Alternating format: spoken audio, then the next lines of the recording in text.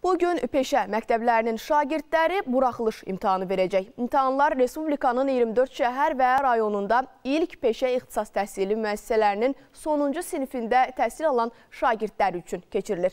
Peşə məktəblərinin 3254 şagirdinin imtahan verəcəyi nəzərdə tutulub. İmtahanlar saat 11-də başlayacaq. Şagirdlərin bilik və bacarıqlarını yoxlamaq məqsədi ilə onlara tədris dili, riyaziyyat və xarici dil üzrə ümumilikdə 85 tapşırıq təqdim təqdim ediləcək. 32 imtahan binasında keçirilən prosesin idarə olunmasına 44 imtahan rəhbəri, 313 nəzarətçi, müəllim, 64 buraxılış rejimi əməkdaşı cəlb olunub.